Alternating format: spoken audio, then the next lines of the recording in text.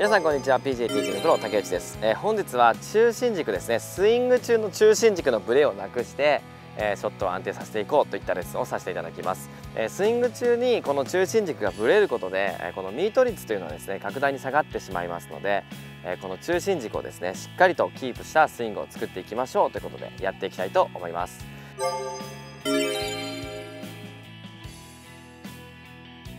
はい、えー、まずですね中心軸についてなんですけどもこう構えたところから背骨のライン、まあ、これが中心軸になってきます、まあ、もちろん顔のラインももちろんそうなんですけども例えば下半身がこういうふうにスウェー右側にバックスイングの時にスウェーしてしまう人っていうのは頭がこちらに動いてバランスを取ろうとします、えなのでですね下半身は右に行こうとするけど頭はこっちに残ろうとする。えこういう形でスイングしている方結構多いです。逆にダウンスイングは左に流れてしまうと頭の位置はこちらに動いてしまう、えこういった形でですねスイングになってしまうと中心軸がこう回転しないといけないのにこういうふうに動いているように見えてしまいます、えー、実際になっているんですけども、えー、なので頭だけを意識すればいいというわけではなくて腰の位置そして足の位置っていうのもですねサイドに動かないようにするっていうことがポイントになってきます。そのため今回はですねやっていただきたい練習方法があります。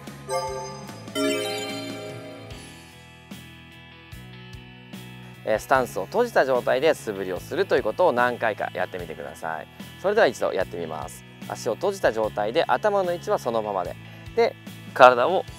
こう回していく素振りを何度もしていきます。実際にですねこう振っていって簡単にできる人はあまりスイング中に中心軸がぶれていないケースが多いんですけども、えこの足を閉じた状態で素振りをするとどうしてもバランスがこう一歩ずれてしまったりとかダウンスイングの時も一歩こっちに出てしまったりとかですね、え、そういう方は結構多いです。なので一度皆さんこれテストで試してみてください。足を閉じている状態でクラブがしっかりと振れるかどうかですね。この素振りを練習してみてください。はい、え、この時にバックスイング上げる時に腰がこう引けてしまってお尻がこちらに流れてしまって頭がこっちに流れてしまう。そしてダウンスイングはこの逆になってしまう。こういうふうに振られている方も結構多いです。この辺りも気をつけてください。バランスは取れているんですがお尻の位置が変わって頭の位置も大きく変わっているのでこの自分の中心ライン頭のポジションからお尻のラインまでしっかりとここがキープできた状態で素振りができるかどうかというのをですね、えー、確認をお願いします。実際にここでブレが少なくなってきたら実際にこの閉じた状態でボールを打ってみてください。同じ感覚で中心を動かさないように打っていきます。これで中心キープできていれば OK です。そしたらですねこれを徐々に足を広げていきスイングの練習をしていきます。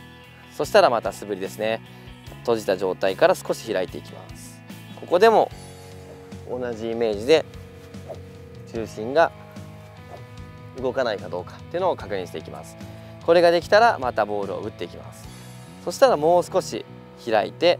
肩幅よりも少し狭い幅で中心軸を意識しながらスイングをしていきます。はい、えー、そしたら最後にですね自分の心地いいスタンスの幅でアドレスを作っていき中心軸のブレがないように振っていきます。え中心軸をまずはスタンスを閉じた状態から意識しながら振っていき徐々に開いていきその感覚を養ってこの中心軸のブレというのをですね抑えていきましょう、え最後は自分の、え心地いいスタンスでボールを打つといった練習で OK です。この時に中心軸を意識しながら練習をしてみてください。それでは最後に一度打ってみたいと思いますのでご覧ください。